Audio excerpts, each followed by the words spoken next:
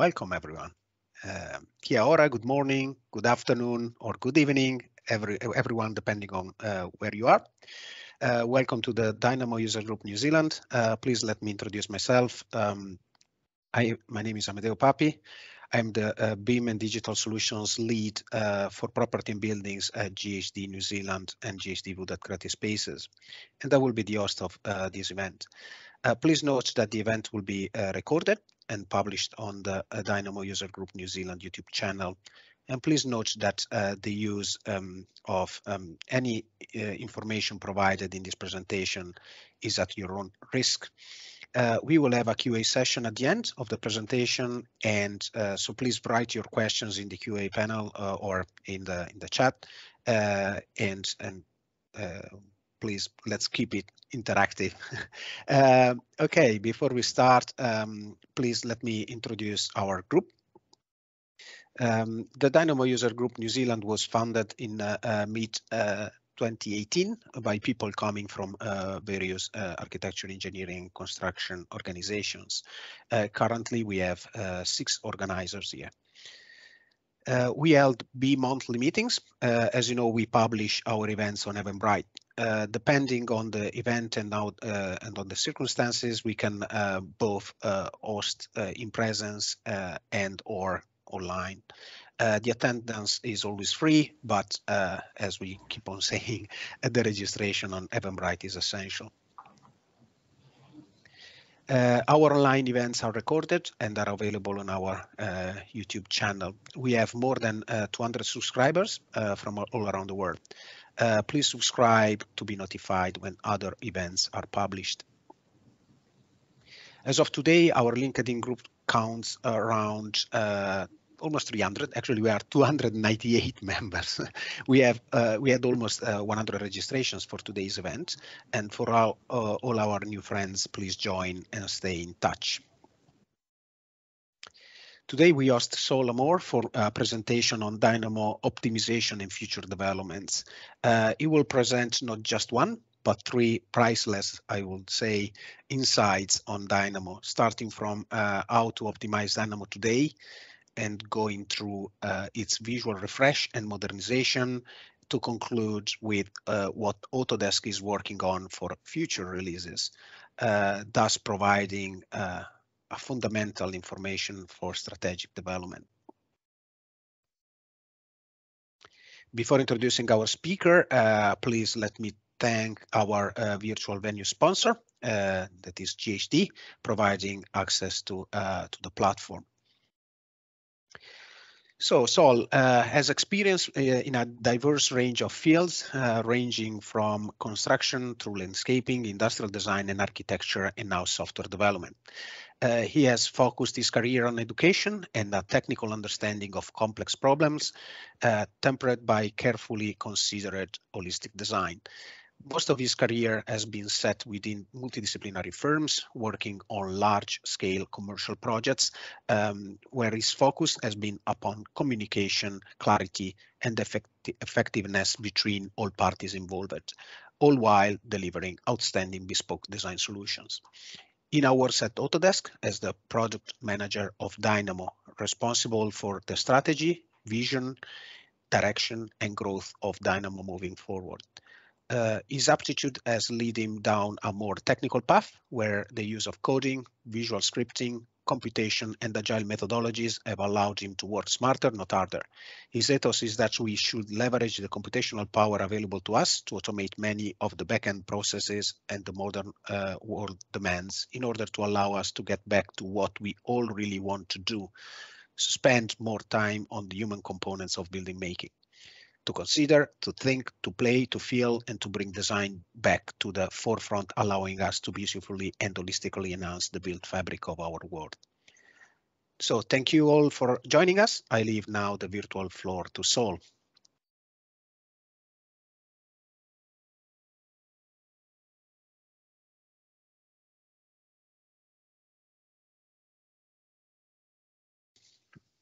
Awesome. All right. Thank you so much for the introduction. I had forgotten I wrote that uh, novel on my uh, my LinkedIn page, so I appreciate that. Uh, hello, everyone. My name is Sol. I, am uh, a Kiwi.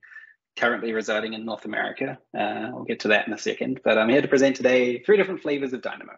Uh, so it's not going to be quite in the same order you said, uh, Amedeo, but we're going to do visual refresh and modernization and talk about that story first. Then what's coming down the pipes of Dynamo in the middle before we talk about what you can actually use today to, to make Dynamo sing, uh, to optimize it, uh, the settings you can affect. So that is, in essence, today's agenda. Uh, there's going to be a bit of a wrap up at the tail end, and I would encourage you all to please uh, speak up, raise your hand, uh, sing out, and ask questions through here. I like being interrupted.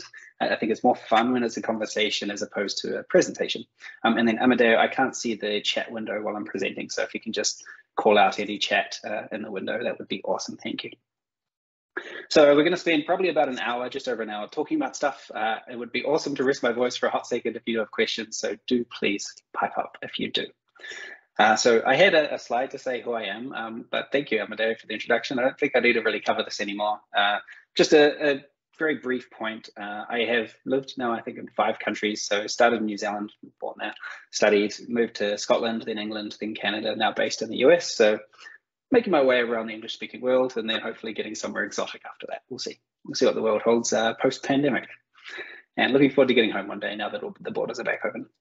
So there's something I wanted to start with, and this is this was not quite part of the agenda, but I think it's really important. And so this is starting to talk a little bit about like how Dynamo is built, just to give you a conception or an understanding of of what it means when you see uh, those numbers on the right hand side of the screen. So if you open up Dynamo and you see in the about box like Dynamo Core and a bunch of different versions and Dynamo Revit and a bunch of different versions, I'm just going to talk for a few minutes about what this actually means. So in Dynamo, we adhere to this notion uh, called semantic versioning. Uh, and this is our commitment. Uh, we try to adhere 100% to this, but sometimes it becomes difficult to uh, technically adhere to this. So in the spirit of semantic versioning, we, we typically adhere. Uh, so technically there's some uh, API breaks in the back end that only one or two people in the whole world might be affected by, and we, we make sort of conscious choices on whether or not we make those changes. Uh, typically with Dynamo, you get a bunch of different numbers, and this is referring to essentially versions. So uh, the yellow number, which is the first one, is the, is the, major version. And this is what we typically try to avoid making any kind of breaking changes. So when we call out API changes here, but that specifically means like we don't want your experience to change too much within these versions. So you should be able to open any single version of, of a graph inside of the major version and have it still work to, to some degree. It is not backwards compatible, so to speak, um, but we'll get to that in a second. Uh, we then have minor versions. So this is adding functionality uh, that is backwards compatible in the sense that you can open that graph, it's not going to break. Uh, but if you open it with a node from the future version to an older version, that node's not going to exist in that earlier version. Uh, and then we have what's called a build or patch version. And this is around uh, bug fixes predominantly. If we release a version of Dynamo, say 215, which we just released, and there's something major that's broken that we only find out after somebody uh, in a particular scenario finds it out of the world, uh, we will release a minor version here. So that would be 2.15.1 in this case. We try to wrap in as many bug fixes as we can to that, uh, in particular the one that is usually really, really important, like crash bugs and things that uh, do damage to your machine. So we try to avoid those. We do a whole bunch of different testing inside of the team, but uh, if they do sneak through, we try to address those pretty quick.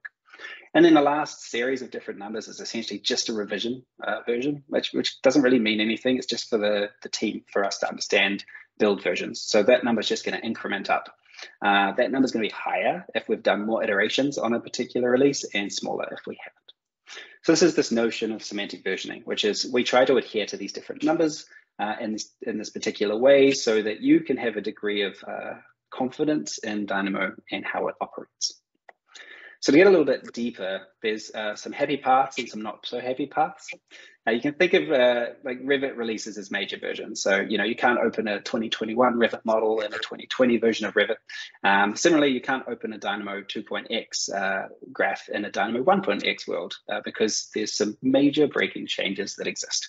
So in the case of 2.x to 1.x, we actually changed the way the Dynamo file itself is written. So it older versions literally cannot understand newer versions. If you open a older version and a newer version, then it's going to have an upgrade or a migration process uh, with that.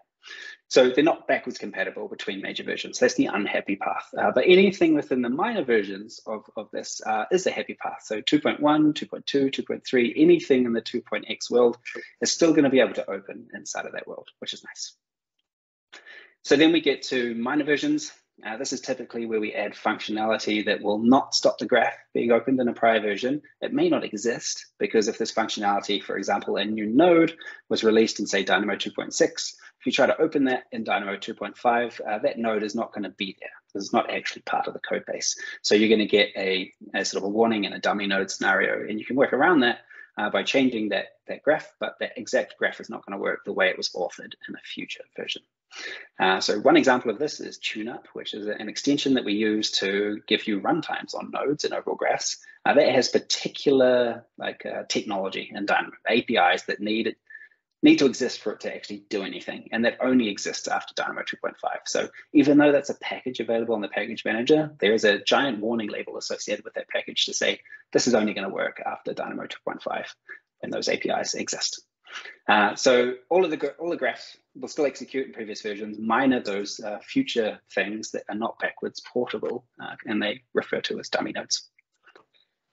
Then we get down to sort of the build patch version stuff. Uh, this typically only goes out, like I said, to address breaking, crash, or bug fixes. Uh, usually quality of life stuff. Like we want, there's not going to be any feature changes that come in one of these versions, so you're not going to get anything new. What you're going to get is stability improvements, performance improvements, and bug fixes. Uh, and that's there's a cost associated with, with uh, making release for us. So we try to only do these when they're absolutely necessary. So very minor bugs are still going to wait till a, a, future version.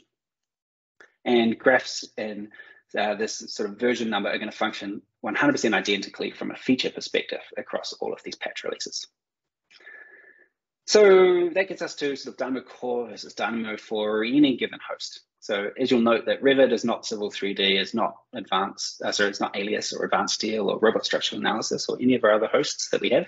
Uh, and Dynamo Core provides this core common experience for everybody. Uh, this means uh, you will get the same core experience in all of our hosts, and you can also get this expressed as Dynamo Sandbox, uh, which is like a developer playground where you can use Dynamo by itself uh, but when you use it by itself, you can't use any of the other host functionality unless it's an out of process API, and it gets a little bit funky. So Dynamo is expressed in many different hosts, and as I just mentioned, the host content is only available in that host unless you play some interesting games. Trying to resolve that as time goes on, but that's the way it is today. So just some very quick practices before we jump into the three primary topics of today's talk. Uh, in terms of major versions, try to use the same major version uh, as, as if you can across your entire office. Um, obviously, if you have projects that are spanning multiple years, this may be difficult, but where possible, try to stick to the same major version so you can use those graphs uh, across different uh, Revit versions, uh, different Civil 3D versions, uh, and different Dynamo versions. Uh, we'd also recommend you carefully manage your package contents. And so use a version that's compatible for all users where possible, or you have a package for each version of Dynamo. Uh, two different approaches, both requiring slightly different management techniques. Another way to approach this, and another recommendation we have, is to stick to the lowest common denominator if you can.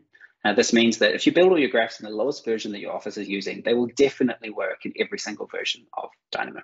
Uh, so that's another way to sort of get around the, the problem space that exists with having lots of awesome new features in future versions, but people stuck in older versions are not really able to access them.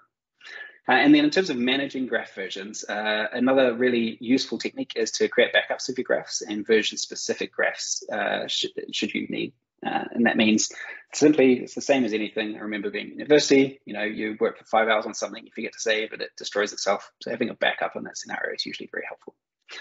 So that's just a quick introduction to uh, Dynamo sort of semantic versioning and how we want to, to handle or well, how we do handle uh, building Dynamo. So pause for a hot second if there's any questions on that stuff.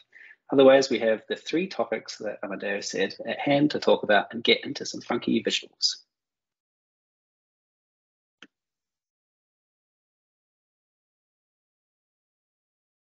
All right. If you do have any questions, please do sing out. Again, I would encourage you to, to interrupt me. It doesn't hurt my flow. I'm used to it, and I actually prefer it than just sitting here and monologuing for an hour or so.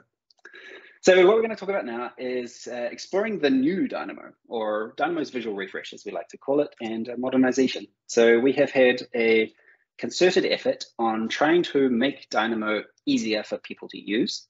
Uh, so what we wanted to do was refresh the visual design uh, and also the paradigms that, uh, that exist inside of Dynamo so that all of you guys can have a much better understanding of how Dynamo works, uh, sort of surfacing all of the hidden things, honing the rough edges, uh, removing the magic stuff that just happened in the background and didn't tell you anything or what was going on, uh, and really lowering the barrier to entry. What we're trying to do is make Dynamo much easier for everybody to use so more and more people can find success with Dynamo. And when you build a graph, you can give it to somebody else and you can get them up to speed faster. So we wanted everybody to have access to a modern, considered, sleek and cohesive experience. So not only is this a visual refresh to make everything uh, look a little bit more modern, it surfaces information, it uh, reimagines the experience of Dynamo, uh, empowering uh, retention and, and, reducing fall off for people who might uh, find it a little bit difficult in the historical versions, but also predominantly about putting information at your fingertips. We want you to know everything you need to know when you start using Dynamo. So we're giving a lot more information in Dynamo so you can find more success with it. We're trying to really foster a more effective and insightful graph authoring experience. We just really want you to find uh, more success and have more fun doing what you're doing. Uh, so that is like setting the tone for the Dynamo Visual Refresh modernization effort.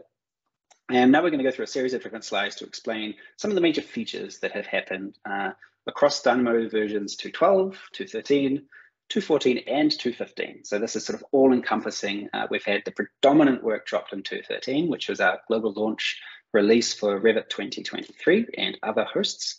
Uh, and then we have had some residual uh, pieces of that puzzle coming through in the latter two versions as well. So without further ado, uh, we have introduced this thing called a preferences panel. Uh, so this was actually introduced in Dynamo 2.12, and this is like your one-stop shop to customize your user experience, your experience of Dynamo. And so the old settings menu inside of Dynamo uh, has predominantly been ported here, as have a bunch of other things. And the reason we did this was for scalability, as well as being like a one-stop shop. So previously we had uh, a bunch of different things starting to show up in the drop-down menus uh, from Dynamo that were maybe not quite in the right place and that was going to start to not really scale well, which means we couldn't keep adding stuff to the existing menus and we couldn't keep adding menus uh, across the board because it would have got really messy and started to become really confusing. So the preferences panel enables us to have a more concerted place uh, to put all of this information. So this is expressed under a new menu item, uh, and that is under the Dynamo menu, which now has, holds the About, Exit Dynamo, and Preferences panel. Uh, it's a new dialog, contains all the preferences. You have a bunch of different uh, sub-panels uh, from the overall Preferences panel, and they give you things like general features, uh, visual settings, uh, package manager experience, and so on. I'm going to talk a little bit about the expression of some of these things later on, but in essence, it's a one-stop shop all of the settings are expressed as uh, options here for you to select. It's going to give you a very clear visual understanding of how your Dynamo experience has been customized. Uh, and one thing to note is that all settings do automatically save uh, when you make a change to those settings. Uh, rather than having to sort of commit those settings at the exit of the dialog. Uh, this is done because it gets really slow if you have a backlog of many different settings you've tried to change uh, with the preferences panel. So there's a quick little video showcasing what the preferences panel is. You'll notice it comes from a new menu. There's a bunch of different things in here, like expander panels. You'll notice most of the settings are what you're familiar with in Dynamo today. There's a few new ones as well, uh, some buttons to do some interesting things. Uh, but for the most part, this is where you need to go if you want to find any form of customization inside of your Dynamo experience. Uh, the package manager tab in particular, we're going to cover in its own dedicated slide because it introduces a few new features into the world of Dynamo beyond just being a, a, translation of the existing package manager management system. So can I butt in? So I'll pause it. Yeah, for sure. Ewan here from Harris Consulting uh, in New Zealand, clearly. Um, good to yeah. see you again. Uh, really quick question for you on that one. Um, with those Python settings that's bundled into the preferences manager now, uh, I mean, in the later versions, you've got a resetting of the C Python environment. Is there scope there to add in something so to make it a bit easier for users to add their own modules into Python through the preferences interface, as opposed to having manually load them into the um, Python site packages folders per your workflows on uh, GitHub? Yes, uh, short answer. Not right now in Dynamo, but we want to get there. So we, we have an outstanding task to to essentially um, improve that system. We, we had sort of two different options. One of them was bundle like the 10 most popular packages out of the box with Dynamo. So that gives you a similar kind of experience to uh, using the built-in libraries in IronPython. Uh, so you'd just be able to use them. Anybody could build a package that refers to them. Everybody will have them. It gives consistency, and that's probably the path we're going to take. Uh, the, the harder path, but the more expressive path would be to enable you to install any kind of Python package in, into your world. Um, we could do that too, but uh, it requires a lot more effort, and it comes at the cost of doing other things. Um, so if you're familiar, there is a post on the forum that is uh, I can't remember who authored the post originally, but in essence, a way to use Python and Dynamo to install Python and Dynamo. So it gets a little bit meta, um, but you can install packages just by entering in their string name uh, using that that world. And I can find a link if, you want to find it too. You might be looking familiar. Forward to the, uh, looking forward to the survey showing up on the forum to pick the 10 most used packages then. So yeah, it's, uh, it's just going to be, I don't know, the Wild West maybe. We'll see. Uh, but yeah, so short answer is like the the Python experience, like there's room for us to improve for sure. It's it's still pretty simplistic in, in terms. It's not really a, a pure uh, IDE, but the reset C Python node in particular is like if the, the machine gets into a weird state, you can essentially flush it and start again. So that button should be quite helpful if you're working in CPython. Any other questions uh, before we move on?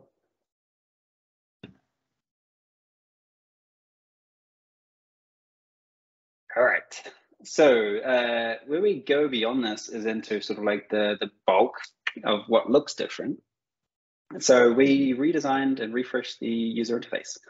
Uh, and this has is set with uh, some internal guidelines at Autodesk. Uh, we call it the HIG, which is like human interface guidelines. It's used that as a base position. This means that things like contrast are taken into consideration quite seriously, uh, understanding how to surface information and so on. So what we wanted to do is just modernize the, the look and feel of Dynamo to reimagine and evolve the user interaction. Uh, we wanted to put all information at your fingertips on nodes. We wanted to explain features better. We wanted to surface hidden behavior and show things like node states in a much better way. Uh, there's also a bunch of new features, and we're going to cover some of those more in depth as well. So you'll notice that everything looks a little bit different. It's now kind of dark themed. There's a new tabular experience. There's a cleaner way to export stuff. Uh, we've updated the UI. There's a modern node styling, a bunch of different things. So restyled runbows and so on. Some also some really cool stuff that's come out in 2.14 and 2.15 too, if you've started playing with that world. The library looks different. Essentially, almost everything looks different. And by the time we're done uh, with refreshing the, the style of everything, it is all going to look different. Um, this is the bulk of what the, the restyling effort will be though. So to get a little bit more granular into some of the stuff, we wanted to redesign uh, everything to give you more information. Uh, the nodes being a huge portion of that. And nodes are extremely complex from a code perspective inside of Dynamo. You know, you touch a node, it comes touches everything in the code base. So there is a huge amount of effort that's gone into making uh, the back end of, of these nodes actually hook up to itself, not just making it look a little different. So you'll notice there's uh, some long requested outstanding things that have cropped up in here, which is kind of fun, like uh, node icons now showing in the header bar.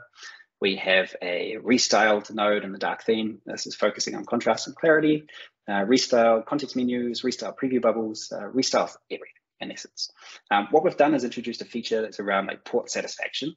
So an unsatisfied port, which means a port that does require something to be plugged into it, but doesn't currently have, have something plugged into it, has now got a red bar on it, a sort of vertical red bar. And when that port is satisfied, it has a vertical blue bar. So when you're working through and building your graph uh, and plugging things in or unplugging, uh, it's going to be dynamic and show you in that moment whether or not that node requires uh, those, these ports to be fulfilled to purely also execute correctly. Uh, and then the default port uh, is now more graphically obvious, and it has a second vertical blue bar sitting outside the nodal space. And this is uh, uh, to show you that you don't need to plug something into these particular ports, but also to tell you that if you have something plugged into this port, you can unplug it and it will still execute given it has a default. So everything here is uh, like fresher in terms of information. You'll notice that there's the three dot menu icon for the context menu. This means that you can still right click on the node to get access to that, but previously that was kind of hidden behavior. You kind of had to figure it out, follow the parameter, ask somebody, or simply right click on stuff to find it. That is now also accessible through left click, which means it's also accessible using uh, other sort of ways to enter Dynamo, and that's important for the future. So then uh, we also wanted to surface information on the node clearly and with more granular control. Um, so there's a, a, bunch of different things we've done on this front. So we have this notion of alerts inside of Dynamo. Uh, this is like warnings and errors and stuff as the, the bubble above a node. Uh, we now have those being able to stack should there be a situation where they can stack. Uh, and this has a hierarchical error, uh, so hierarchy of error over warning over information. And information is a new state we've added to. Uh, you have the ability to dismiss warnings inside of Dynamo right now. Currently, that's only in session. Uh, but in the future, we're planning to reimagine that and have that serializable, which means uh, savable, that state of, of a dismissed warning into the graph. Uh, so you can run it through things like Dynamo Player and have a designed-in experience that understands there may be a warning, but you know, um, you know that it's going to occur, and you've designed how to deal with it later downstream inside of your nodes. Uh, in terms of renaming the nodes, this has gone away from being a sort of giant in-your-face yellow renamed tag to a rather subtle blue uh, dot. Uh, and much love from John Pierson on this one. He was uh, not a fan of the red, the orange rename nodes. We've also introduced a, a preview state showcasing as a eye, uh, eye icon. We've also showcased a sort of status bar at the bottom of the node, which is an um, yellow for warning and red for orange or blue for information. Uh, this is sort of like the zoomed in version of, of how to experience this. And we've actually introduced this thing called zoom states, which we'll cover later, that shows you the zoomed out experience.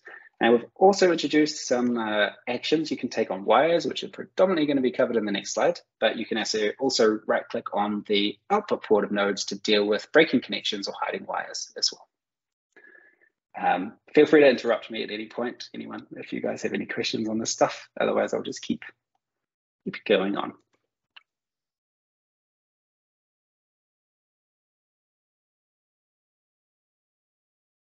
All right. So we also wanted to improve groups and make them much more powerful.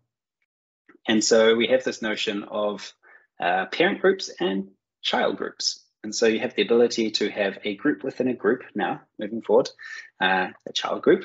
And you can have any number of child or children groups inside of that parent group, but you can only go one layer deep. Uh, we could improve this in the future if we wanted to, but there are some performance concerns when you get too much of this going on. So we kept it at one right now. Uh, we have also introduced a sort of header bar to the groups, which have both the group title and the group description, which is new, and the ability to collapse these groups. So you see the child group here in blue has actually been collapsed and it's showcasing a slightly different behavior than what you might have seen with the parent group. This means that you can have a what we call proxy ports that are built onto the input and output of this group.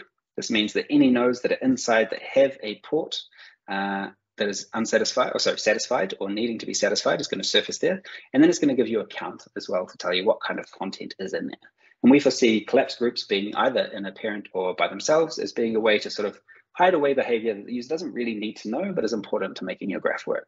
So you can use this feature to really improve the way that dynamo uh, is uh, entered into by other people who didn't author the graph and maybe yourself in the future too uh, to be able to uh, only see the relevant information at the right point in time so you can think of these uh, collapse groups or these uh, as kind of like giant nodes. They surface the ports and they kind of behave in essence like an improved custom node. You also have the ability to drag and drop nodes and uh, groups and notes into a group simply by hovering over that group. It'll get a gray outline and you can just drag that in. It's a really nice experience. Uh, after 213, John Pierson actually added a PR to do the same thing to remove it using the uh, Alt key. So you can drag things out of a group in that way too. Uh, everything's been also uh, restyled to make to look different. And uh, in later versions, which we'll get to in a second, we're introducing a notion of group styles, which enables you to customize even further. So the restyled group menu or context menu is again in the same theme and stylistically consistent with the rest of the visual refresh. I'll pause there for a hot second. Uh, any questions on either the node stuff, the general stuff, or the group stuff?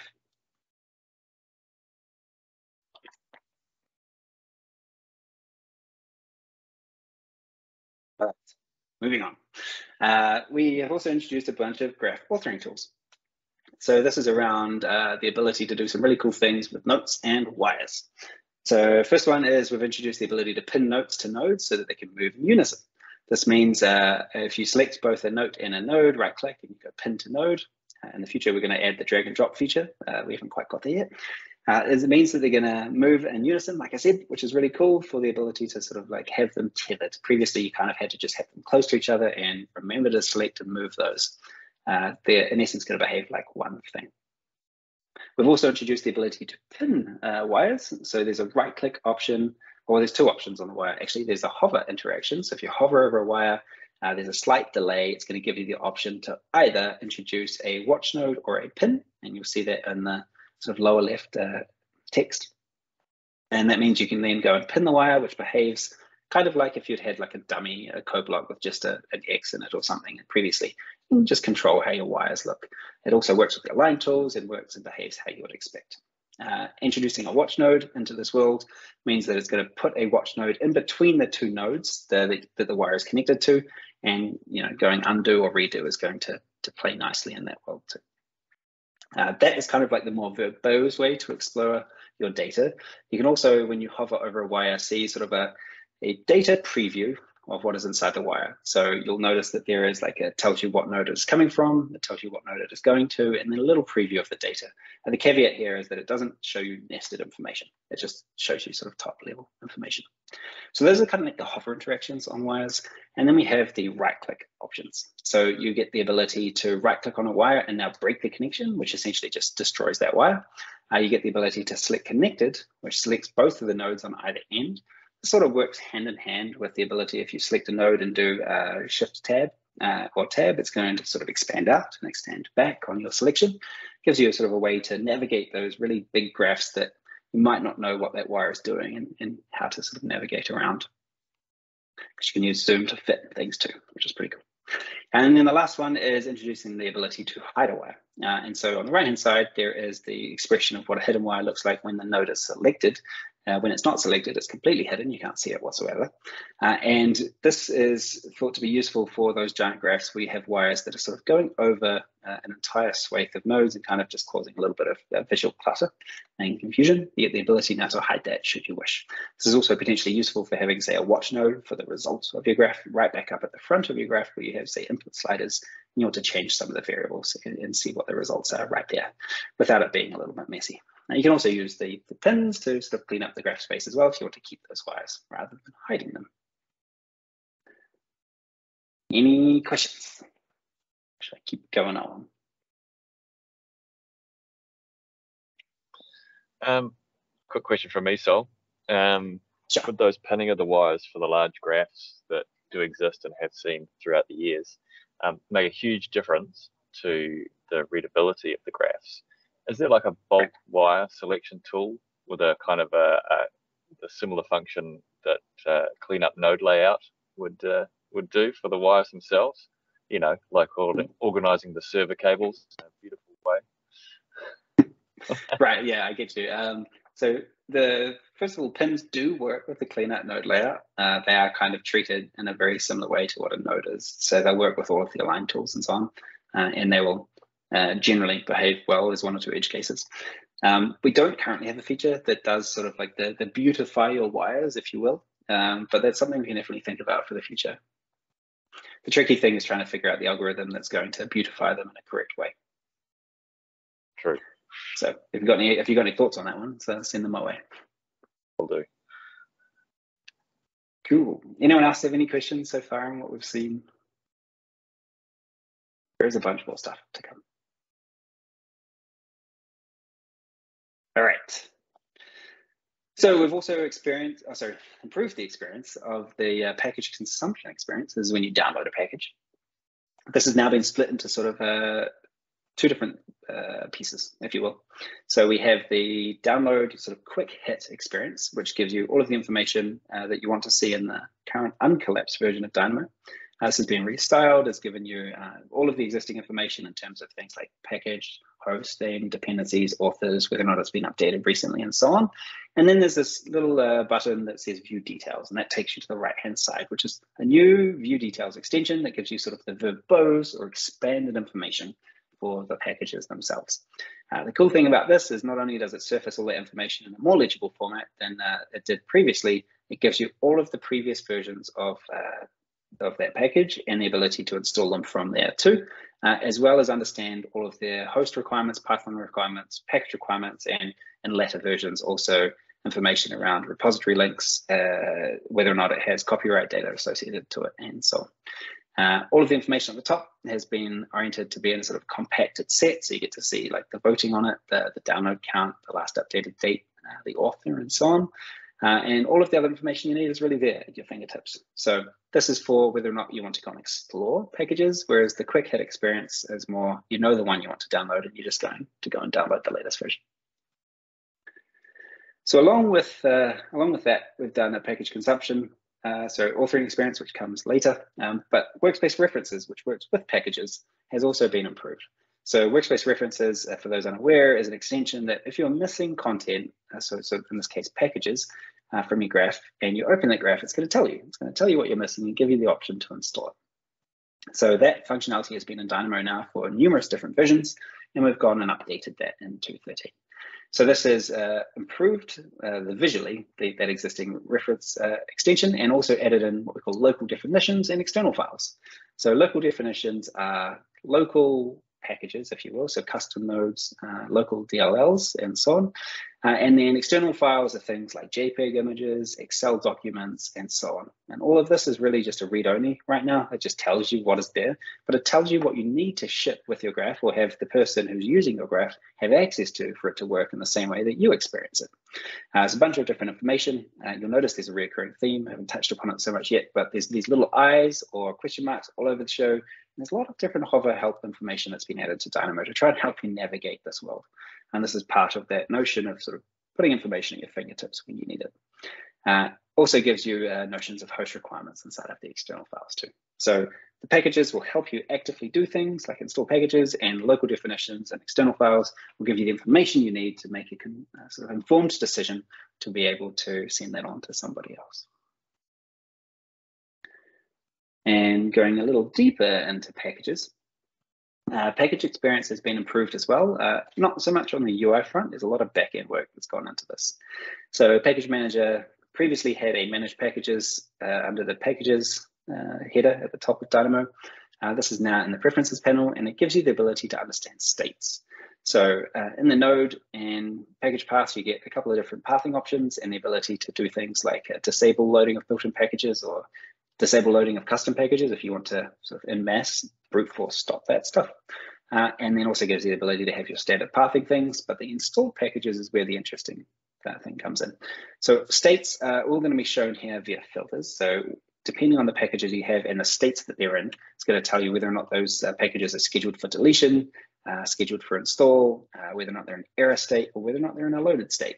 Uh, and that's really cool because it can start to tell you why those things are happening and give you more information to try and resolve and help uh, your packages out. Uh, previously, a lot of that was sort of hidden, a little bit magic in the back end, and it didn't really uh, give you the tools you needed to start making an informed decision on how to resolve conflicts. Uh, so each uh, each tag also has this hover that tells you exactly what it means when it says it's in one of these particular states. On top of that, uh, we've gone and improved uh, the group experience by adding in this thing called group styles. Uh, this means you're going to have the ability to sort of name a style and preset it with a color. Uh, in the short term, color is all we have exposed so far, uh, but this gives you access to literally any color you wish in the entire world. So no longer are you're limited to only the sort of 16 odd different colors we have out of the box, uh, which is still accessible here if you like them. Uh, you now have the ability to use these group styles and add any kind of color you wish. It's going to give you a default one when, it, when it's created, but you get to go into the color picker tool and essentially change that to anything you wish. So this means you can have customization for your own offices or your own personal tastes. Uh, there's these four default styles, which gives a degree of consistency across the world of Dynamo in general. We've called these actions, inputs, outputs, and review. Uh, and this is something you can use by default unless you want to choose your own and then the world is your oyster. Go nuts. So we've also uh, done some small things like increase the connector dot size for more clarity, uh, given the ability to apply these styles to the groups in the context menu of groups, and updated some of our different uh, dialogues which were missed in the previous version. So this is now into some 2.14 stuff. Another really cool thing we've done, and what I think is really cool, hopefully you think the, the same, is we've introduced a Dynamo Dictionary out of the box inside of Dynamo itself. So Dynamo Dictionary is an external website that we've historically had that takes every single node uh, and gives you a little sample graph and an example file of what that node is, as well as an in-depth description. Uh, so that gives you essentially more information into, uh, into Dynamo, into that node and how to use it. So some of the sort of more esoteric nodes that may be uh, you know, not as easy to understand, although we've done some improvement on, on naming and descriptions recently, uh, should be a lot more useful now. So we built a tool to essentially pull down all that information from the website. Uh, it would tell us, uh, we'll try and auto create, as in essence, these MD files or Markdown files that is going to be inside of the Dynamo experience. If they did not exist, so it's because there were some nodes that were introduced to Dynamo, but not introduced to the, the Dynamo dictionary, uh, it would just create a stub and we had to fill those in. But that is now done. Every single core node is out of the box inside of Dynamo from 2.15 onwards. And we're looking to do the same thing for Revit and uh, host, uh, other hosts moving into the future too. So this is automatically going to show up inside of Dynamo. Uh, in Dynamo 2.15 and onwards, you just use the F1 hotkey for help on any node. It'll bring it up. Uh, previous to that, you right click on the node and you select help. It's going to give you all of that information. So the, the one caveat here is that uh, sample image, you kind of have to drag the uh, documentation browser out to be to see it. We've got some work to do to make that a more lovable experience.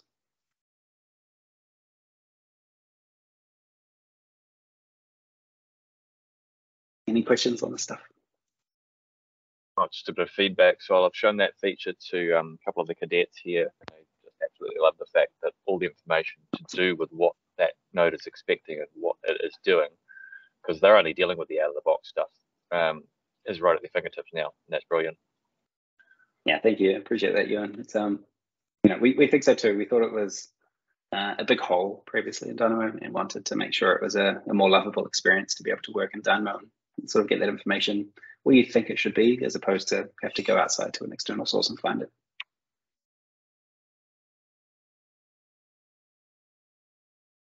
Uh, do appreciate that feedback. Any other feedback, please send it my way. Uh, it makes the team feel very happy.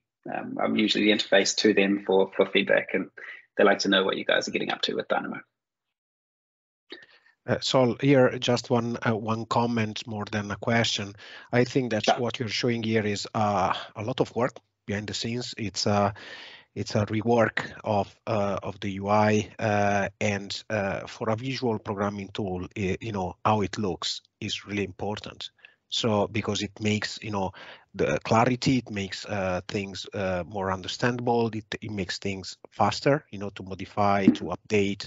So um, you know, uh, in typical programming languages, you know, you're more focused on features or new, you know, libraries or new uh, methods or whatever you you, you know, uh, that basically, you know, the the, the core uh, of the programming language. Here, here you have a, a, a, an additional layer, you know, that is somehow how things are uh, shown in the in the tool in Dynamo, because this also is part of your programming somehow experience and programming uh, um, environment. So it's really, really yeah. important.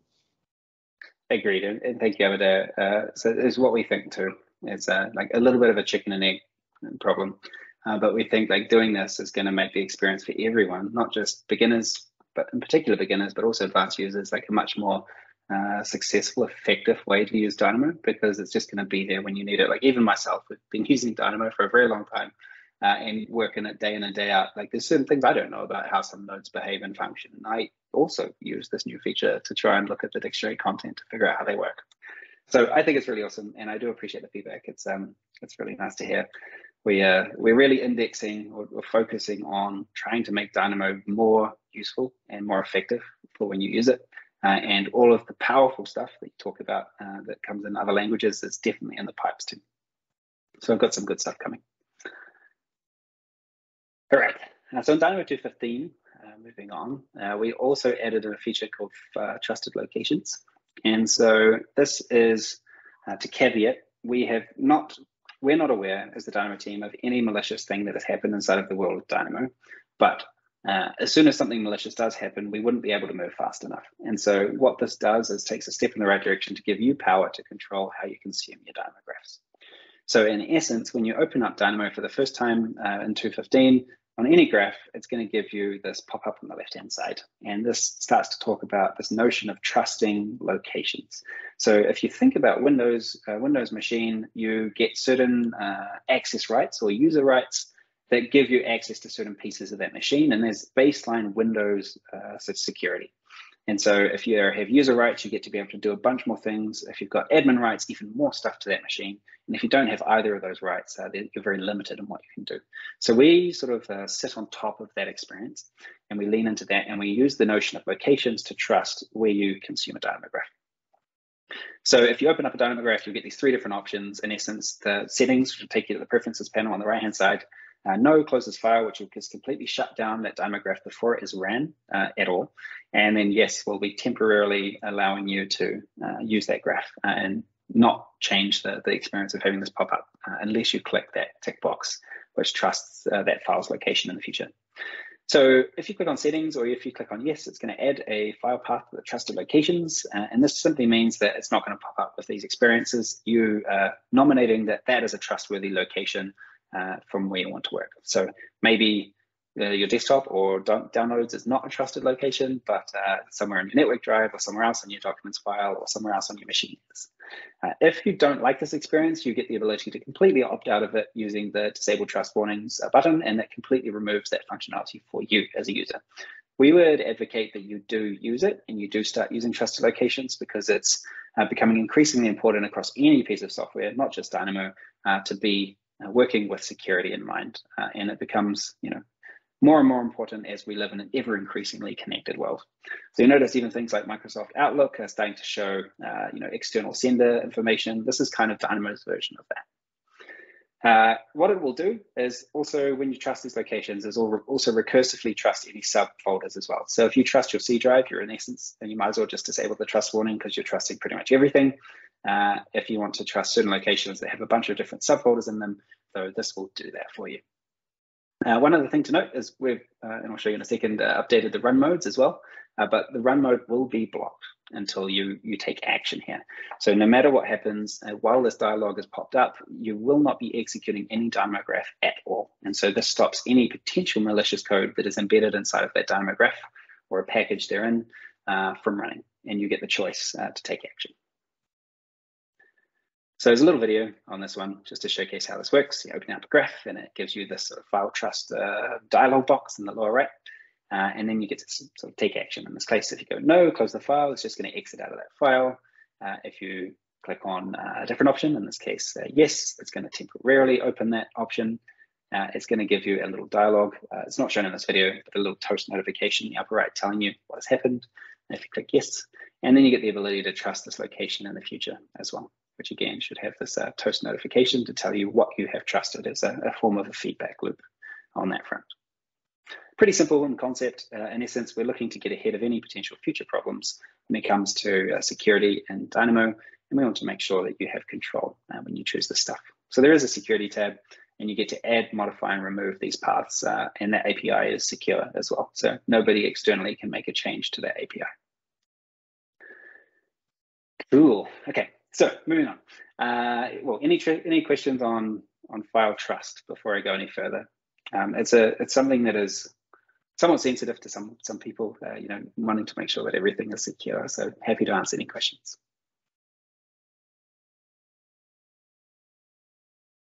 Again, just a comment. Very important feature, especially you know in enterprise level. You know, it's it's fundamental.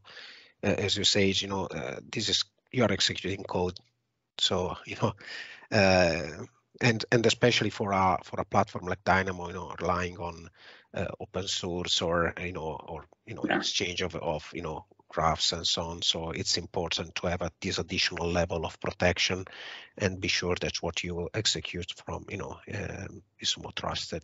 That's that's really really important. So we think too. So you know, we're hoping this uh, this uh, alleviates some concern in the world of Dynamo. And if you have any thoughts on, on how we you want to see this sort of evolve into the future, just let us know. Just a just a question on that, jumping in. Sorry, Anton from Warren and Mahoney. Um, when you were scaling this across a practice, for example, and you want to have like this is our our library, uh, like how how do you imagine that working when you would want to propagate this to say 200 people's machines to say access the library from this location it's a, it's a good question. We're actually doing work uh, starting in about a month on deploying Dynamo settings, and we'll talk about that in the future setting uh, session. Well, Perfect. series of slides that are upcoming. Perfect. Is there another question? No, that was it for me. Thanks. Okay, cool. Anyone else? Any questions before we move on?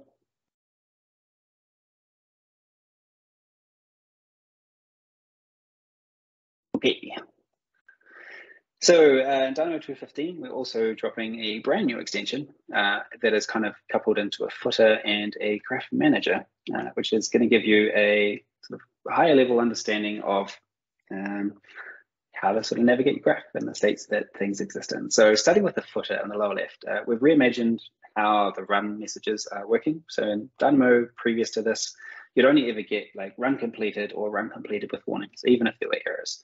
So we're now being more expressive with what that means, meaning if you complete with errors, it's going to tell you that. There's a hierarchy again that's common across everything, with errors being dominant over warnings and being dominant over information states. We also are going to capture in a little counter next to the run uh, status uh, any amount of errors, warnings, or information uh, states on your nodes, and that is clickable. So if you click on that, it's going to zoom to those nodes in your graph and cycle through it as you keep clicking, so you can very quickly navigate to the problem space to get there really quick, uh, which we think is awesome. So that's like your, your quick hit uh, access point. And then the Graph Node uh, Manager uh, extension is a way to sort of get more granular with that. So this is an extension that enables you to, first of all, search through the entire workspace. Uh, people have been asking for this for a very long time. This means you can search for any amount of nodes in your graph, and it's going to curate the list of nodes uh, below it. Uh, so if you're searching for a particular renamed node, that's going to show up here as well. Uh, in this case, I have, oops, I broke it again, dot, dot, dot. Uh, you could search for that, and it'll bring you there really quickly.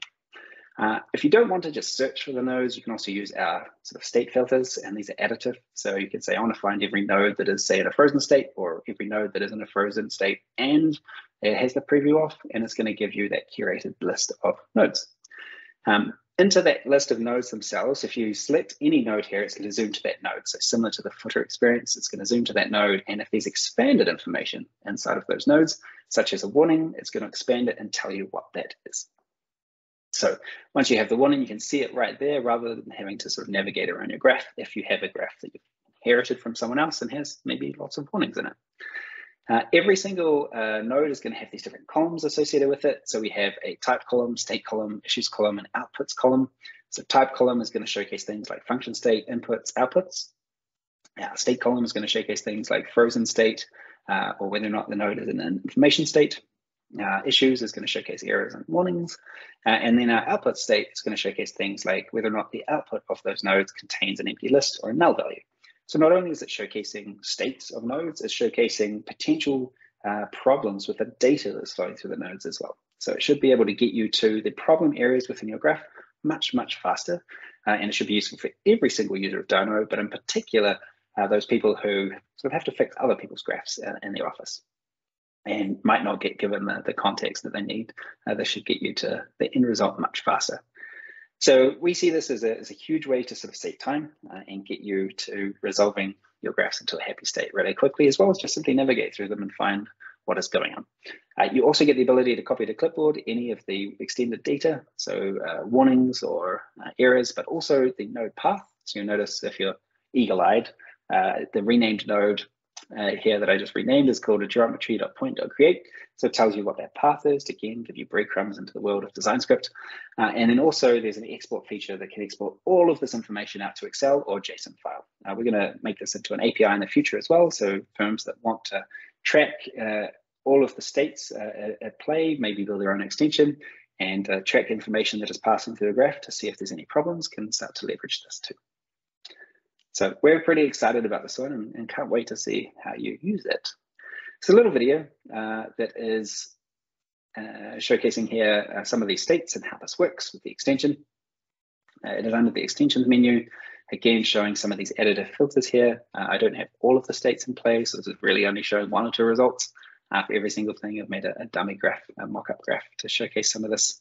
But it does start to paint the picture of how you can sort of very quickly navigate around your graph and understand uh, sort of all of the, the states that are at play, uh, all of the information, and, and make changes should you wish. Yeah. So last Thursday morning, Sol, when Helena showed me that um, quick click to go to the node which is providing the warnings or the errors, etc. there goes half of my um, troubleshooting time right out the window right there. I was just like, I was nice. ecstatic. Brilliant. Yeah, awesome. Glad to hear it. Yeah, we uh, and thank you so much for providing feedback on that, Ewan. We really appreciate it. It's, um, it's it helps a lot with framing what we do and how we get to the right kind of result. Um, so I just slipped back two slides because there is a, a, pause here for any questions on anything you've seen so far or any additional questions uh, on the visual refresh because that is covering almost everything on the visual refresh. I realized I forgot a slide on zoom states. Uh, so you can imagine that when you zoom out past a certain threshold, uh, the nodes are going to recolor themselves to either red, blue, or yellow if they're in those states, and they're going to have those icons show much bigger in them. So when you want to zoom out, you very quickly get like this macro view of what your graph is doing. Um, but I want to pause here for a hot second to see if there's any any questions on any of the visual refresh stuff, uh, which is sort of the end of the, the first portion. And I do realize we we have uh, half an hour left, and so I probably need to speed up for the next bit.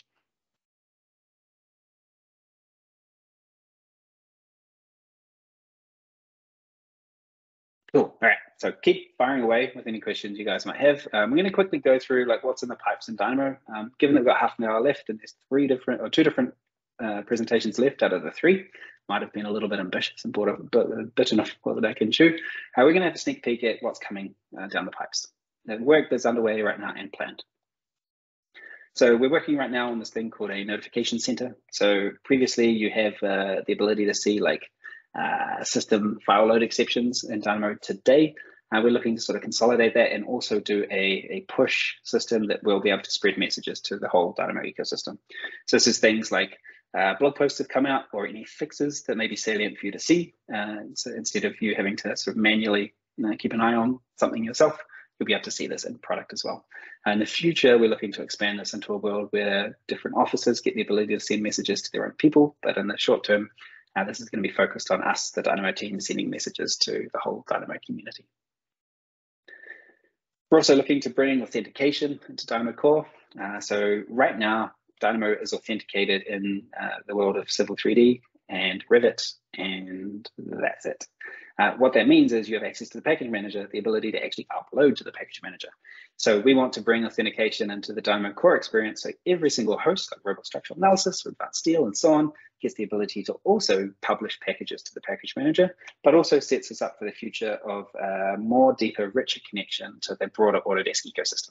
So if you're thinking about things like Forge, you're thinking about uh, things like analysis routines, you're thinking about things like SpaceMaker, like this is going to help us start to connect into those ecosystems. And it's a pretty exciting uh, foundational aspect uh, to what the future may bring. We're also looking to empower uh, Node Autocomplete, which is a feature that enables you to sort of build graphs uh, with machine learning. And so right now you have an object type approach, which just simply says if you're clicking on a geometrical input, any node that can create geometry is going to be surfaced there and like a list. That's better than the current experience of trying to search through a library of 700 plus nodes uh, and the matrix of crazy um, sort of connections you can make there. Uh, but the, the ML recommendation system is going to use real graphs from real people and understand the context of your graph to make a recommendation uh, that is the most relevant as opposed to only matching on an object type approach. Suffice it to say that this feature, once we get it done, we project should very dramatically improve the way that you build graphs and help people in particular who are new to the world of Dynamo learn from the broader Dynamo community. So we're going to have a series of graphs that we're going to feed into it uh, that are sort of given by the broader community with permission that is going to help sort of facilitate this model and, and build better graphs faster. So we're pretty excited for this. Uh, theoretically could dramatically over reduce the overhead of uh, what you need to know to be able to be successful with Dynamo. We're also looking at deploying Dynamo settings. So here you go, Ewan. Uh, we're we work on a quarterly basis at Autodesk, so it's every three months we sort of plan work. Uh, next quarter, we're planning on uh, working through deploying Dynamo settings. And so all of that good stuff that we saw in the visual refresh around settings and things, uh, Ewan rightly pointed out that what if you have an office with lots of different people? Uh, oh, was Anton? Oh, sorry, sorry, but, Anton. Uh, I share the same vein. so, sorry, Anton, my bad. Uh, yeah, so what if you have an office with lots of different people? We really want to make this uh, you know, an enjoyable experience for you too. And, and so this is uh, empowering, in particular, larger offices, but hopefully everybody, uh, to be able to have a predefined set of uh, settings, and you'll be able to bundle those into the installer. So if you think of the way you can create a custom install today with Revit, and you can have your INI file be bundled into that, uh, the Dynamo settings are going to be part of that as well. So we're going to bundle that up, have that as part of the same experience, and also express more settings to be part of that settings file, so you can have more consistency across the board. And sorry, sorry, uh, yes, including the Dynamo player. So uh, we're working closely with the team who's responsible for that, and uh, it's going to be in the, the, same settings file. So actually, Dynamo player settings and Dynamo settings are going to become the same thing as we move on. Sounds fantastic. Then, yeah, we're pretty excited. Uh, there, we're also integrating this thing called the customer error report system. All you need to know on this front is that currently, when things crash, sometimes uh, the information that's given to us by Dynamo is not very useful, not very actionable. Uh, this system should give us more useful, actionable information and also help you to provide more information uh, to, help us resolve, in essence, to try and make Dynamo more stable. It's this thing called a MTBF or mean time between failure, which means how long can the program be open before it crashes. And that number should be pretty high. In the case of Revit, this is like days and days, if not months. That's really, really good. And the times Dynamo, I think we peaked at about 16 and a half hours. So we need to do better, and this should help us get there. Uh, we're also doing a massive set of work on the Dynamo VM refactor. So this is like the virtual machine, that the engine that executes the code that you have in your graph. Uh, and we're looking to, in essence, replace the custom bespoke DesignScript virtual machine uh, that's been in Dynamo for forever uh, with the an MSIL, so it's a baseline Microsoft uh, virtual machine. And that's going to remove a series of different layers and all that you really need to know is that's going to make Dynamo quicker. So early days and uh, you know, caveat this with we don't know what it's going to be like yet once we do the real work, but some very hack and slash methods are showing about a 50% speed increase across the board. Uh, and even more importantly, a reduction in overhead costs of Dynamo, which means that depending on the graph you make, uh, it's going to be potentially way faster than that too. So the the uh, the cost, the performance cost on Dynamo after after we do this work should predominantly be on how you build your graph. And the latter half of this presentation is going to cover some some rules on that front. I'm pretty excited about this. This is going to be uh, potentially multi, definitely multi-quarter, potentially multi-year project to, to get this right, but it's going to be pretty good. This is setting a, the future for uh, Dynamo being shipped uh, sort of into the cloud space. It needs to be fast enough to be able to make sure that you can send information, get it executed and returned back in a reasonable time frame for it to be useful. And then we're also consuming uh, new polycurves. So if you've used polycurves inside of Dynamo, you'll notice there's some weirdity, weird oddities, some jankiness and so on with the behavior. Uh, we have worked closely with the, one of the geometry teams inside of Autodesk, uh, which we use for our geometry kernel, and they're introducing new polycurve uh, native functionality, which is going to be much more performant and also sort of much more responsive and much more accurate too. So this we're looking probably to release in uh, global launch, which is the, the big major releases every year uh, for the upcoming year. Pretty excited about this as well. So really important workflows uh, that rely on polycurves today are going to become more and more trustworthy, and it's going to open up new realms of possibility in this space too. So rattling through it at rocket speed, uh, any questions on any of the future stuff?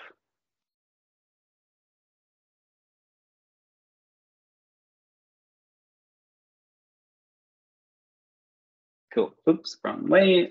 All right, we got the final, the final of the three presentations. Uh, so try and get through this. Uh, Sol, just, just sorry, sorry, just, just one sure. quick question uh, regarding that no that part because it's a, it's a, obviously a very important one because we uh, you, you touched some so many points around you know the improvements and uh, future developments and so on.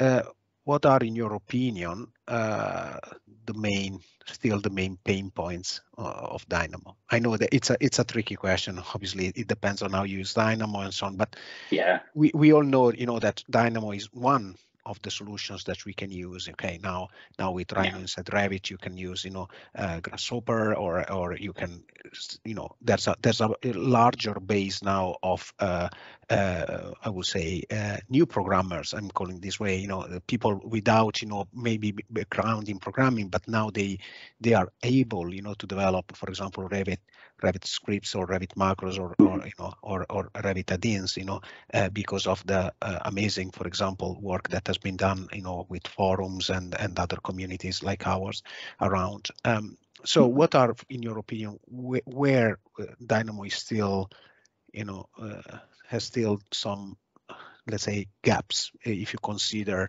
like I say, other packages yeah. or other tools or or even you know uh, um, low level programming uh, I, I short answer, we've got lots of gaps. We're trying to improve many different things, but uh, I think performance is really, really a big bucket. So, you know, we want you, we, we spent like the last year and a half working on the visual refresh stuff to be able to make the, you know, information at your fingertips to make that experience, the authoring experience better.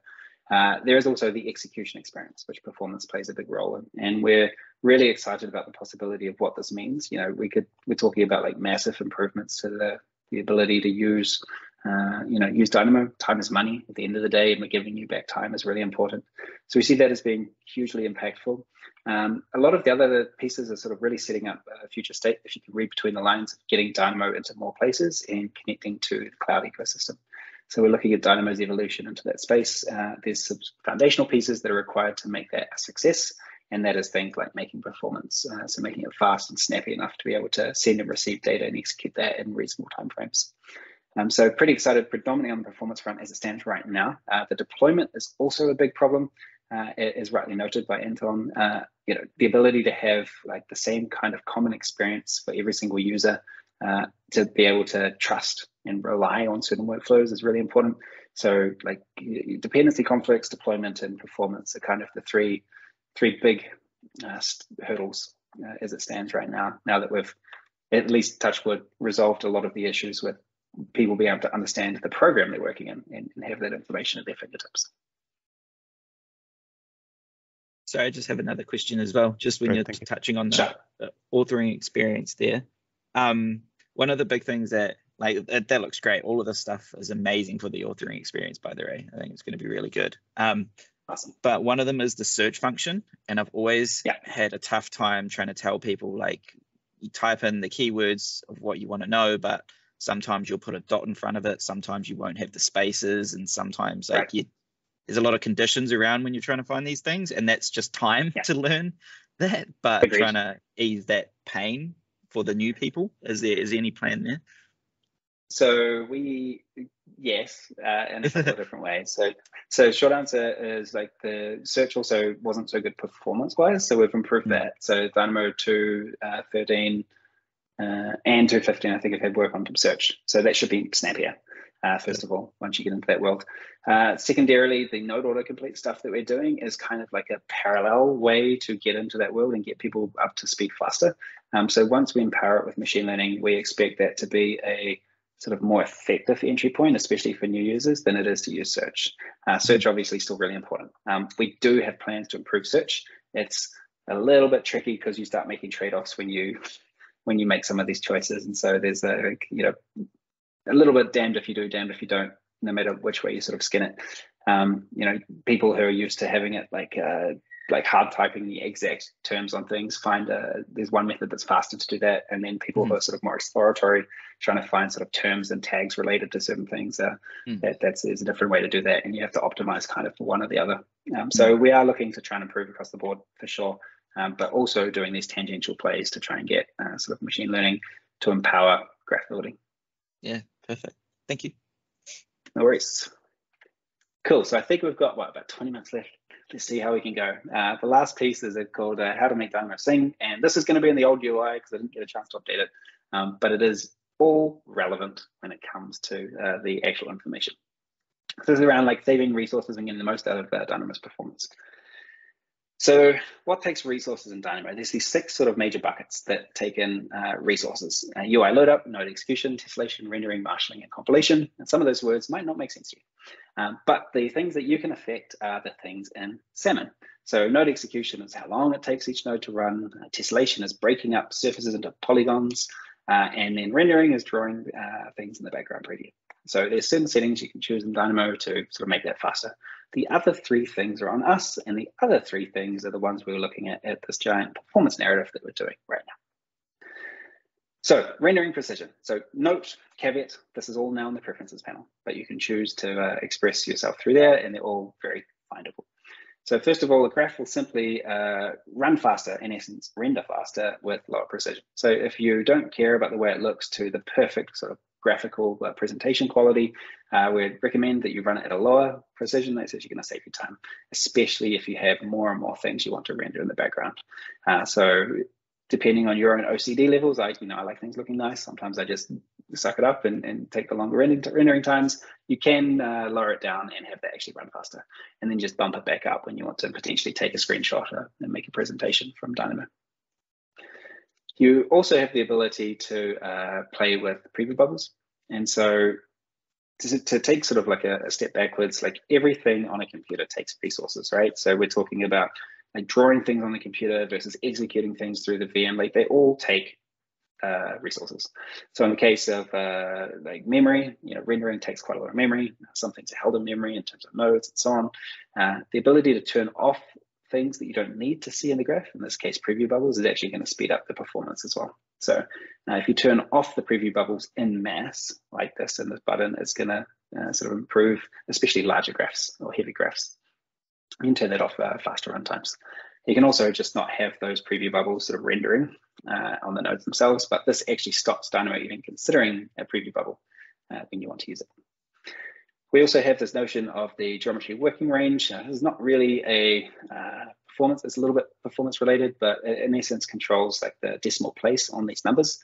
It has uh, some ramifications towards the accuracy of information, some minute rounding errors that may crop up in here. But if it is surfacing a warning, uh, it is essentially the VM trying to uh, trying to make sense of uh, something that it doesn't think is right. So this has a cost associated with it as well. Uh, short answer here is try and work in the, the most appropriate one for you. If you work in the world of Civil 3D, a medium is the one that works best uh, because of those rounding errors across a very large scale, uh, so kilometers of, of application. Whereas if you're working at a building scale, typically you're not going to get the same rounding problems. Uh, so if you are working at sort of city scale stuff, suggest working in meters or feet uh, as opposed to millimeters. The geometry preview as well. So if you turn off the geometry preview, that simply means that Dynamo doesn't have to render that stuff in the background. If it doesn't have to render it, it's not using resources to do that. Uh, so would recommend if you don't need to see stuff uh, to turn off the background preview of a bunch of different things. That's simply going to uh, save you resources, both from the memory perspective and the time perspective for rendering. Super quick question on that one, Sol. So if it's not rendered in the background preview, is it still stored in the rendering memory? Uh, I don't think so. Uh, okay, so, cool. it, so you whole bunch of complex geometry and you just turn it all off. well, the tessellation is different. Um, yeah. So rendering in terms of drawing, yes, I don't think that's safe. The tessellation is saved per node, and we'll get to that in a second. Awesome. So uh, showing labels as well, you know, if you want to see labels, that actually adds significant cost uh, to the performance as well, especially if it's lots of them. So suggest not using those if you're concerned about uh, time. Um, you know, definitely use them if you're trying to navigate that geometry and understand sort of where that comes through. Uh, you can use both the right-click show labels option, or you can just select something in your in your preview bubble, and that's going to give you that number of that piece. So, you know, again, recurring theme. Uh, the less stuff Dynamo has to think about and draw, uh, the faster it's going to be. Uh, in terms of freezing nodes, again, this is also going to help. So if you freeze a node, uh, any node that you freeze and downstream nodes are going to be frozen. This simply tells the VM to ignore them, so it's going to execute faster. So it's going to execute up until that point that the graph is frozen. Uh, graphically, that's going to gray out the nodes, or in, in the newer versions, uh, change it to blue actually, uh, like a blue overlay with a freeze icon, uh, and this enables you to, in essence, turn up pieces of the graph. There is also where you work. And so Dynamo inside of Revit or Civil 3D is what we call in process, which means it's part of the application living in the same memory space, which means that it will lock up your application and you will not be able to do anything as soon as you click around and you have to wait, as you're probably all familiar. Uh, if you use Dynamo Sandbox or any of our outer process applications like FormIt or Robot Structural Analysis, there is separate threading uh, for both the engine and the UI. So you can be executing something while you're still interacting with the UI, like creating groups, placing notes, renaming nodes, all that kind of stuff. Uh, you can sort of clean up your graph while you're waiting for it to execute. So it saves a little bit of time there. And if you're curious about Dynamo Sandbox, you can download it from dynamobuilds.com. Uh, and it gives you, in essence, like a zipped folder. It's not going to touch your registry, not going to make any changes to your graph, uh, sorry, to your computer. Uh, you can put it on a zip drive if you want and just take it with you. It's sort of fully self-contained, contains everything it needs to make Dynamo run. The caveat is that if you're trying to use it with Revit, it's a little difficult because it doesn't, it's not inside of the memory space, which means it doesn't have access to anything Revit. You can play a few tricks with uh, generative design packages to get information um, from the data remember node back and forth. But uh, generally speaking, Dynamo would be most useful inside of the Revit experience if you use it inside of Revit. I use Sandbox a lot myself because I typically play with geometry. Uh, in terms of node preview, uh, we sort of touched upon this a little bit above, uh, but in essence, there's one tactic you can use with this, which is like using a, a code block as like a show me stuff kind of node. And uh, you just move that around the graph, have everything turned off by default, and just see stuff that you want to see. Simply passes the information through. It's kind of like a pass through node or a, uh, yeah, pass through node. Only rendering one set of geometry, saving you time. Uh, in terms of not so much saving time, but power, uh, Boolean operations are incredibly powerful things, but they are costly. So try and avoid doing them if you don't need them. Um, if you do need them, sort of Booleaning the element first, if you've got repetitious elements, and then translating it is much faster than trying to sort of create uh, a bunch of different elements and then Boolean all of those elements at once. So creation events are slower than moving events. So translating of geometry is much, much, much faster, less costly than it is to create stuff. So if you want to have, say, 100 different boxes that are filleted and then they're booleaned into something else, uh, do it once and then replicate that across those spaces. It'll be much faster. Um, what's really interesting though is that, like, uh, comparative to some of our competitors, uh, Booleans are really powerful inside of Dynamo and they're much harder to do in other places. And you can do sort of uh, solid unions or joining geometry that's not touching as well. So you'll notice in this, uh, this example on the right hand side, uh, all of those different uh, boxes that are individually created are then union together into a single element. The cool thing about that is you can use that single element as say a cutting tool, and that's going to be faster than trying to sort of loop through a bunch of different elements to do cutting operations. Uh, so there's some tricks you can play to, to get faster on that front too. But again, uh, trying to construct geometry for uh, or translate geometry rather than booleaning many different things is much faster performance-wise. Tessellation, uh, as we touched upon, is the the act of sort of converting geometry into triangles in essence.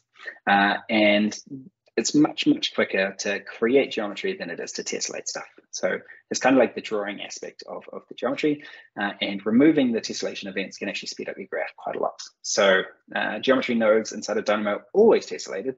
The reason for that is that's kind of the point of Dynamo. It's inspectable at every stage you get to see at every single node, you get to turn this preview on and off, and you get to see the, the information coming through from the preview bubble.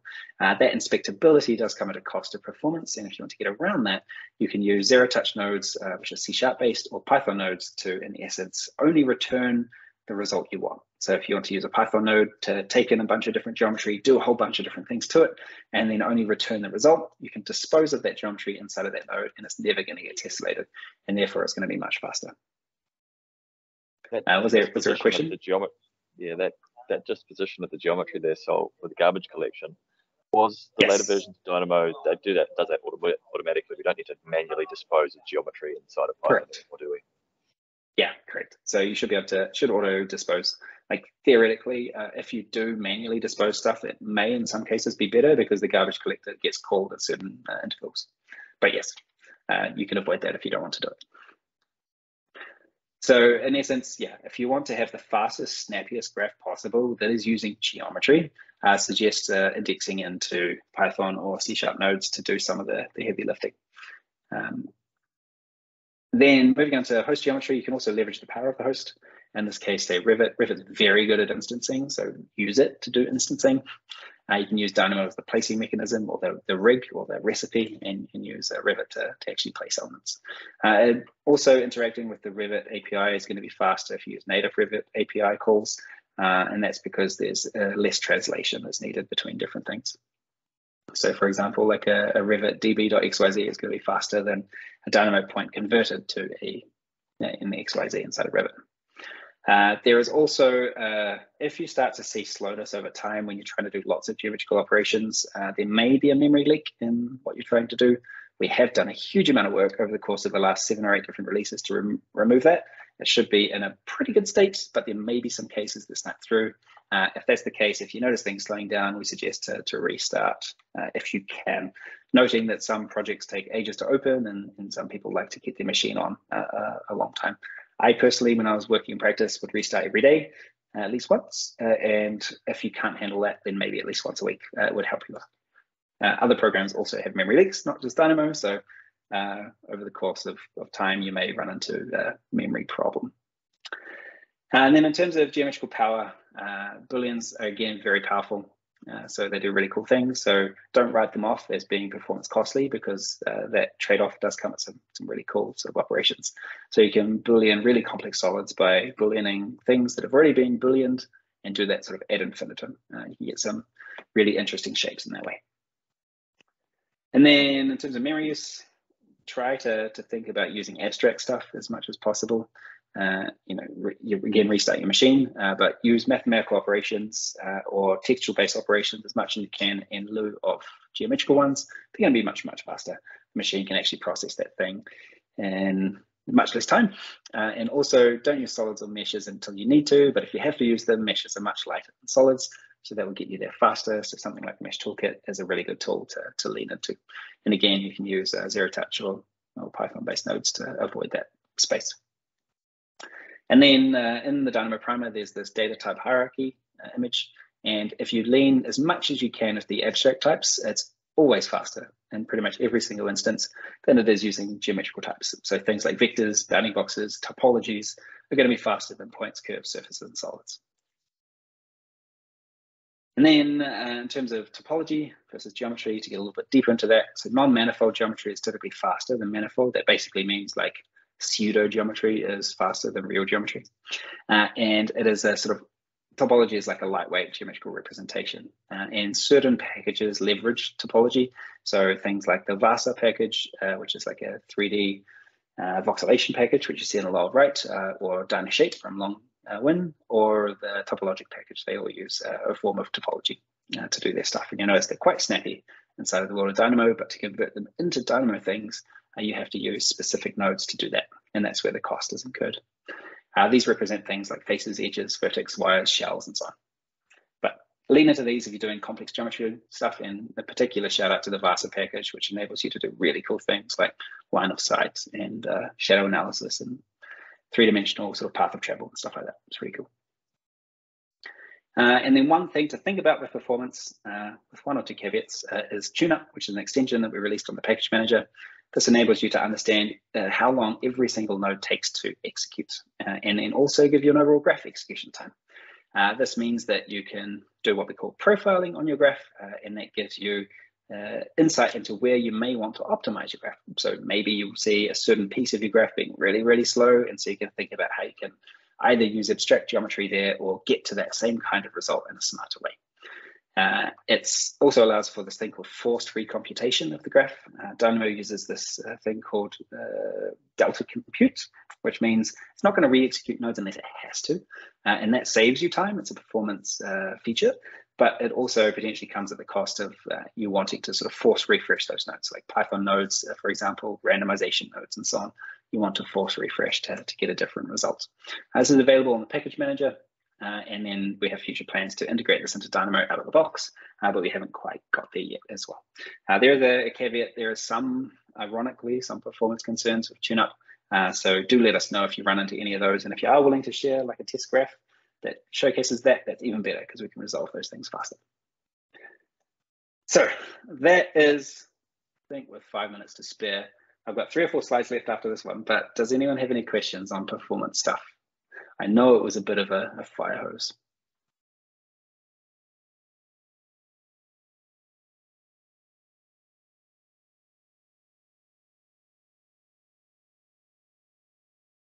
And if not, uh, the takeaway is there's actually quite a lot you can do to optimize your usage of Dynamo as it stands right now. And then we are doing a lot to try and improve uh, the situation ourselves and, and mean that you don't have to do these optimizations as much in the future.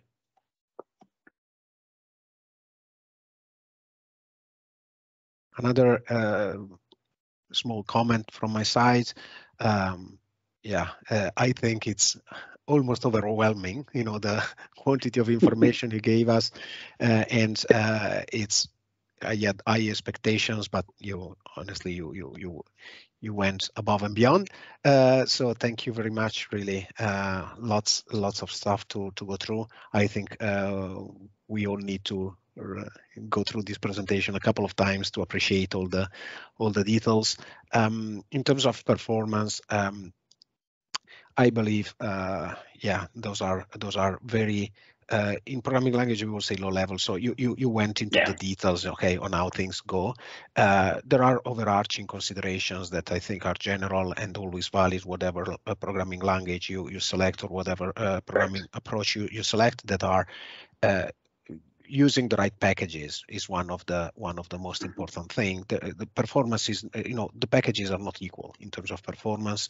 They can mm-hmm. achieve the same result using different techniques and and different somehow also uh, programming approach and so on. So uh, this is really this is really important. And this i think this tune up is is really fundamental to understand the differences between them uh, starting, uh, for example, uh, you you can you can somehow benchmark your your your simple scripts. You can create a simple scripts, and then you can, uh, if you have different nodes achieving somehow the the you know the same result, you can test you know uh, exchanging those and and making some informed decisions up front before your graph is becoming too complex then to understand the single impact of factors and, and you know and situations and so on.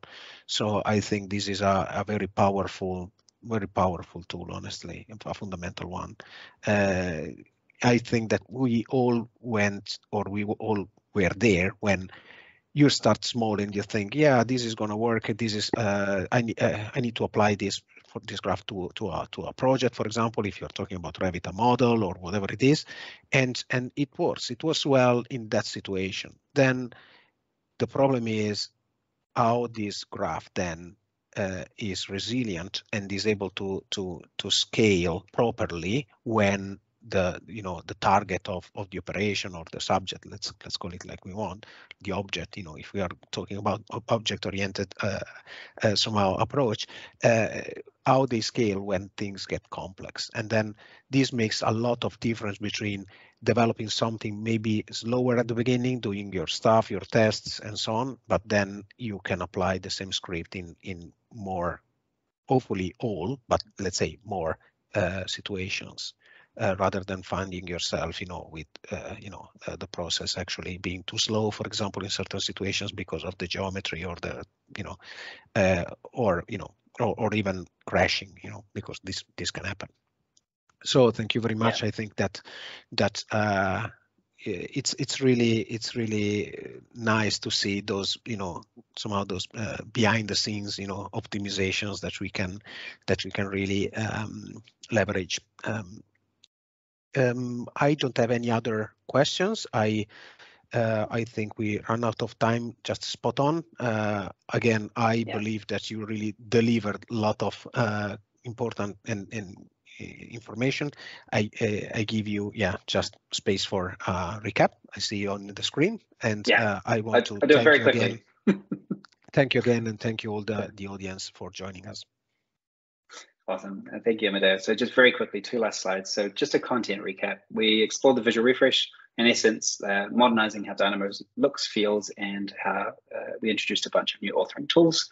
We explored what's coming uh, next in the world of Dynamo, which is around preparing Dynamo's evolution into the cloud uh, and exploring richer connections into the broader Autodesk SaaS ecosystem. And we realized that optimizing Dynamo is easier than you think with a bunch of different ways to go about it, uh, exploring what you can do yourself to improve the performance of your graphs. And then just for the sake of the video, uh, here is a couple of different learn more resources if you want to see them. There is the Dynamo Primer has been updated. If you just do primer2.dynamobim.org, you'll get to see the visually refreshed primer. We've also refreshed the videos. I'm not going to read out the URL. Uh, and we have uh, Dynamo Office Hours, which is a series that myself and Jacob Small do with a bunch of different special guests on all things Dynamo. We currently have about 32 different one hour long sessions. So there should be something in there to tickle your fancy. Please go and have a look and tell us what you think. And that's it. Without further ado, thank you so much, Amedeo, for inviting me here. I hope you all learned something, and it was a pleasure to present to my home country.